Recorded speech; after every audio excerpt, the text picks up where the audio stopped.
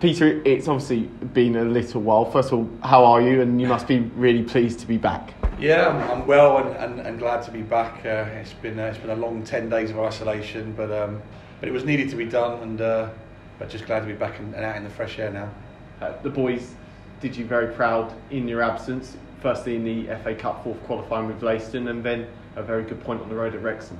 Yeah, I think it's a, it's about character. I think we've shown you know we've shown throughout the season already. We've obviously with our opening day uh, defeat that we've come back and shown character against Dagenham, and then the boys have shown it again in the FA Cup and again on Tuesday with having so many players out and away. Um, we've we've we've shown the right sort of character and the right sort of spirit. So so that's moving in the right direction, and now we need to add our consistency and performances to go with it.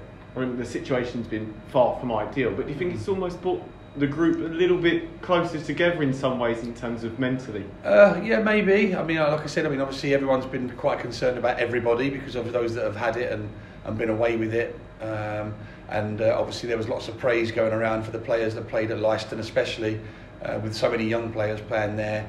Um, I think the, the senior players had they already had appreciation for the young players, but even more so with going up there on a, on a long trip um, in tough conditions as well, by the looks of it, um, and getting the result they did. I think that you know that, that commands more respect from the senior players, and, and they do. It does bring everybody closer together. FA Cup action on Sunday and a, a nice tie against a League One side. It'd be an exciting game. What's your thoughts on that one? Well, it's an opportunity for us to, to put, pit ourselves against a League One club, uh, which is obviously an ideal opportunity for us. It's a, it's not a free hit as such, but it's one that we can go there and play open and freely and, and try and express ourselves. But, but for us, uh, for the staff, it's more, uh, more about a, a progression. Uh, we want to, we want to try and get back into some sort of momentum and some sort of rhythm. Um, obviously, we had a little bit of that with the sort of last hour at Notts County going into the Weymouth game where we, we should have won it far more comfortably than we did. And then obviously we got a little bit of disruption. So, uh, so we're hoping to get back to some sort of normality with and start to gain a little bit more momentum again. Burton near the bottom of League One, but they've come into a bit of form recently, a few draws, notably against top league Peterborough. Mm. What kind of game are you expecting from them?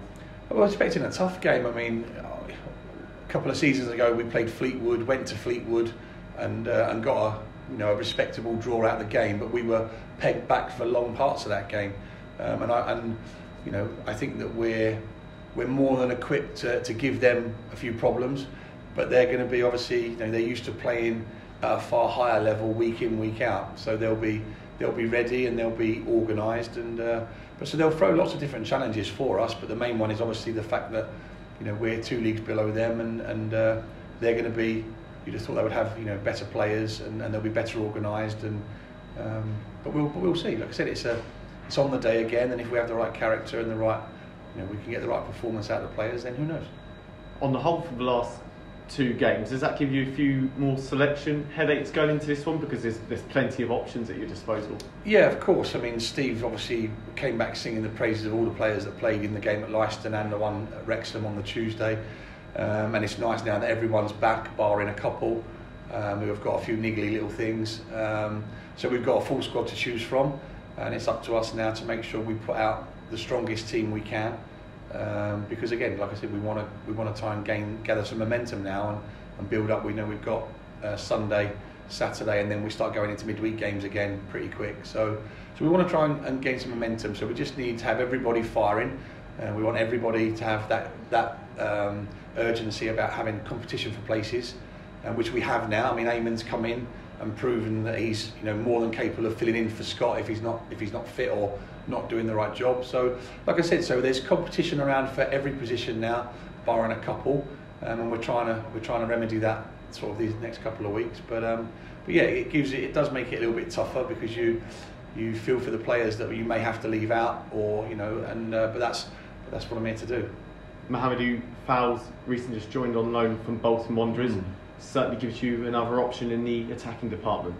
Yeah, he does. I mean, Josh has had a little bit of a niggle um, for a couple of weeks now. He, he, had a little bit at the start of the season, then came back, and then I think maybe putting the strain on was too much for him uh, in them games. Expecting him to play them games after such a such a long layoff, um, and he's got a small tweak in his hamstring now, um, which which won't be won't be too much longer. We're hoping he'll be back for Bromley.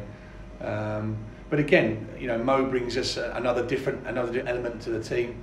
Um, he's someone a little bit different to the other forwards we've already got here. Uh, so it's so it's nice to have them options. So it's uh, and we're looking forward to, to getting him in and and, uh, and working with him and, and looking to you know get him out on the pitch and, and get some games under his belt. Just lastly, you mentioned it there after this weekend. We're going to quite a big run of Saturday, Tuesday mm-hmm. midweeks in the National League.